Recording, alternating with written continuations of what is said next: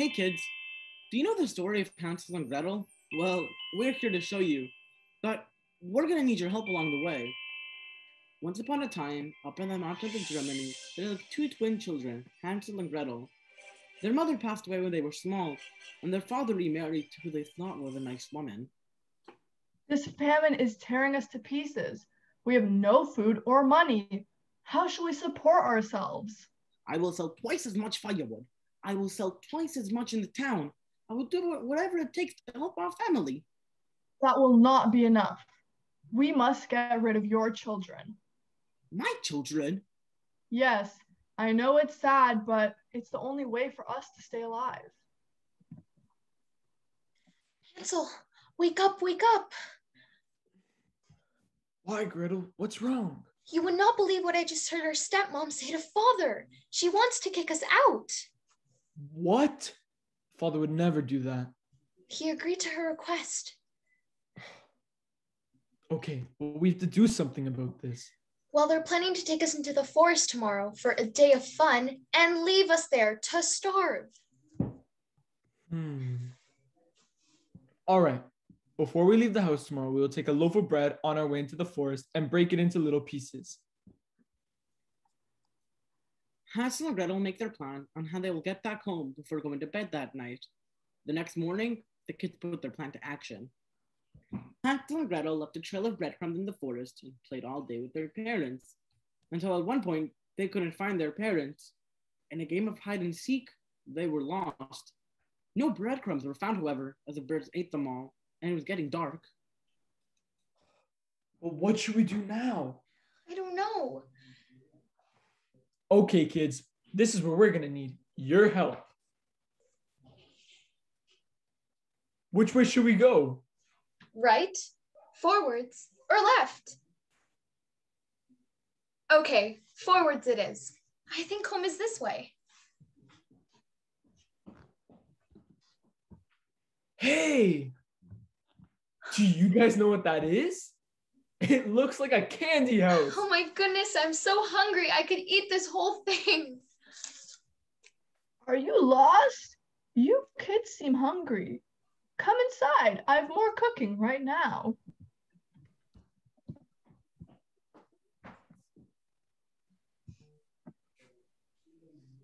Mmm. Is that fresh cake? Why, yes, it is. There's plenty of food for all of us.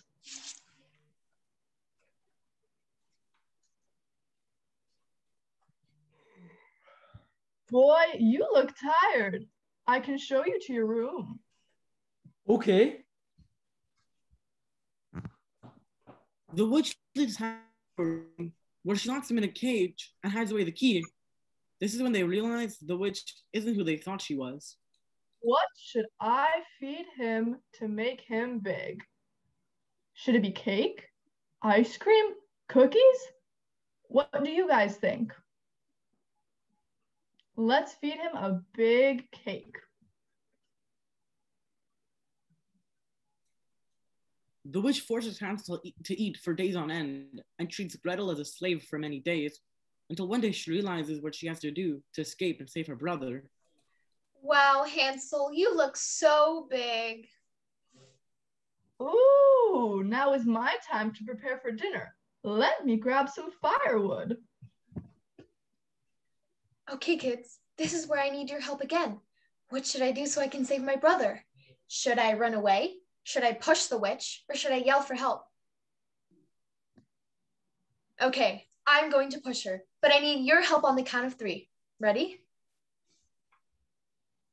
While the witch is gathering her firewood, Gretel decides to push into the oven and steals the key to save her brother.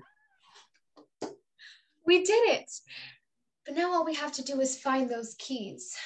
I wonder where they could be. Let's try this room. Shout out when you guys see the keys to help Gretel. Okay, I wonder where they could be. Where? This way? No, they're not there, but I'll keep looking. Hmm? This way? Are you guys trying to trick me? I really need to know where the keys are so I can save my brother. Below me? I got them. Thank you so much. I couldn't have done it without you. Okay, now let's go save Hansel.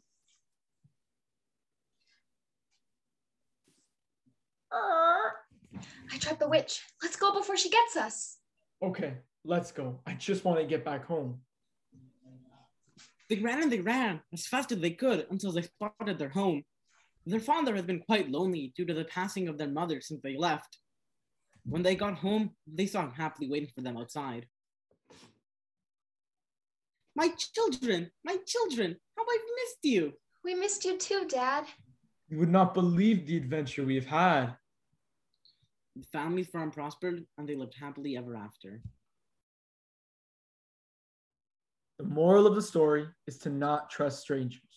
And that's how you stay safe. Thank you guys for helping the kids escape the evil witch. And thank you for watching. The end.